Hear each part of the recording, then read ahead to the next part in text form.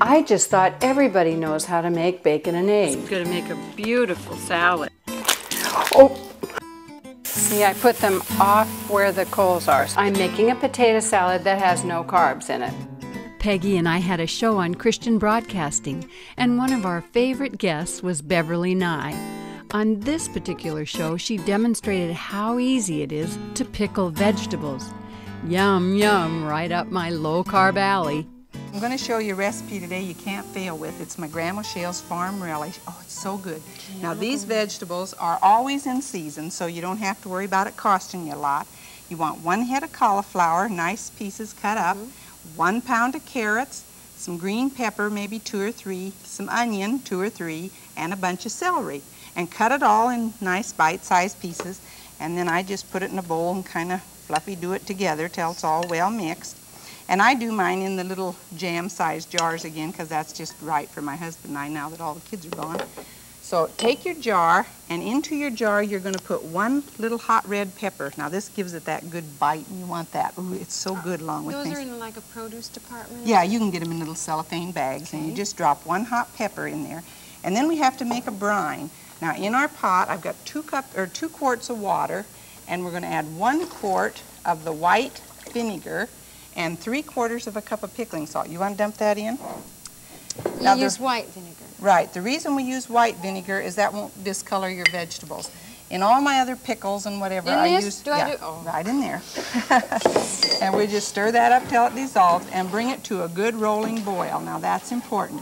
We want the nice cider vinegar because it's white, the vegetables stay clear, but as I said, in all the other pickles, always use the brown cider vinegar. You get a good flavor that way. Okay. But this way, we don't want a lot of flavor from the vinegar. We've got the pickling and the hot uh, pepper in there that's going to flavor that. The reason we had you use the pickling salt is that that doesn't have an anti-caking agent. Now, when you buy a box of salt at the grocery store, it's got an agent in it that keeps it from getting to a hard lump, you know, and it mm. stays uh, free-flowing. Hmm. Well, pickling salt doesn't have that. It's also not iodized, so that way you're not going to have any cloudiness in, this, in the uh, brine. Now we'll take a little jar. Whoops, we are got a, got a pepper in here. We'll start here. And just fill your vegetables up into the jar. And after you get a bunch in, if you give it a little shake, then that kind of settles them down.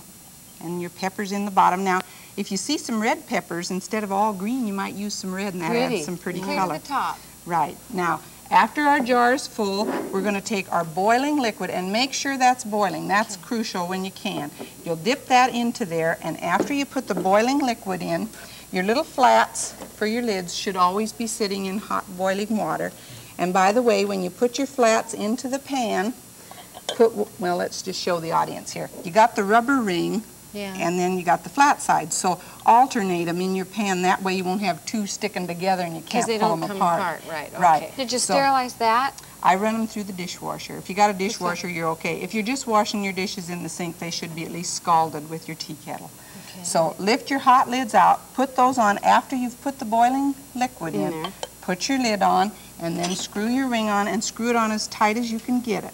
Then we're going to lower them down into our canner and ha again have that boiling.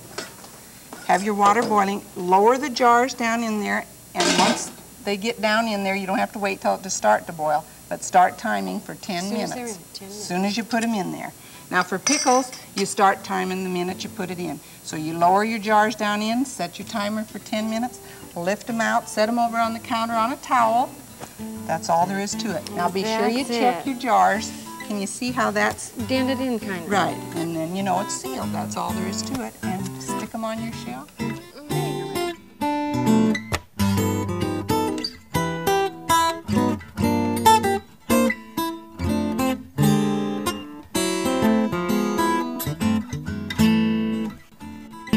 Adore who you are. Adore where you are. Adore who you're with.